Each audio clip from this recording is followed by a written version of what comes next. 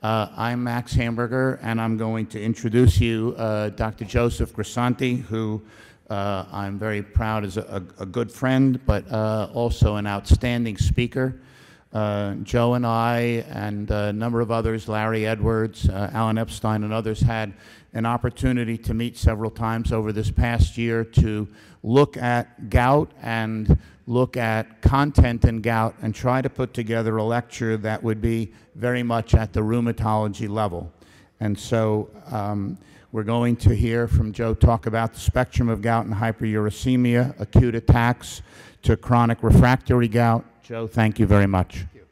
What a day this has been. I, uh, every year, David McLain and Pam McLain, they, they pound out the best rheumatology conference in the country just quietly. And, and it, I'm always amazed at how it's so great, even greater year after year. So, David, my, my hat's off to you. Thank you.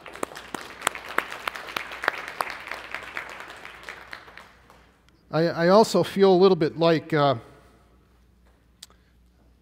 like Elizabeth Taylor's eighth husband on their honeymoon. And while I know why I'm here and what I'm supposed to do, I just pray I can make it interesting for you after such a great day. Okay. This is an independent CME program. You have to sign up for it outside. In order to get CME for this program, you have to fill out your evaluation, which is part of that brochure which you'll receive outside. And you have to return it to the people at the desk out in front of this room. So do not drop your CME evaluation uh, into the collection with the regular meeting, uh, or you won't get credit for it. Um, this is designated for one uh, credit. And again, that, that, that evaluation form is, is critical. I will notify you if I speak of anything off label.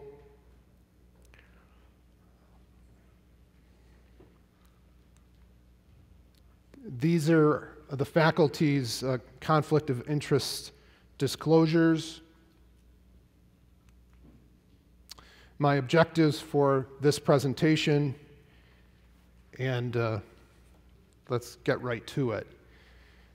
Now, I, I, speak of gout as it is the most, in, the most common cause of an inflammatory arthritis in men over the age of 40 uh, affecting 8.3 million people in the United States, representing approximately 4% of the population.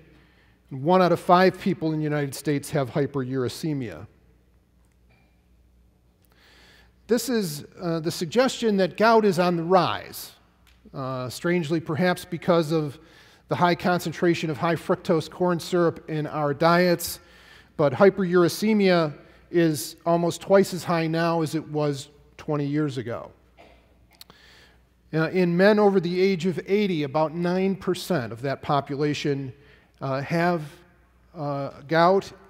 About 70, 70% of patients with hyperuricemia are asymptomatic. And there's a higher incidence of gouty arthritis and hyperuricemia in the African American population that is believed to be related to hypertension. Now, regarding the pathophysiology of gout, I thought that I would start with the mitochondria. And the reason why I do is because if you are a member of the animal kingdom and you utilize oxygen for the synthesis of ATP, that you, in the process of that utilization, generate hypoxanthine and xanthines, which ultimately lead to the production of uric acid. And so, whether you are, you know, an insect or a reptile or a fish or a bird or a mammal, that pathway, or an aerobic bacteria, that pathway, in fact, applies. That the entire animal kingdom generates uric acid via this pathway. Now, it is interesting to me that most of the animal kingdom the story doesn't end with uric acid, but there is another enzyme called uricase that converts the poorly water soluble urate into the highly water soluble allantoin.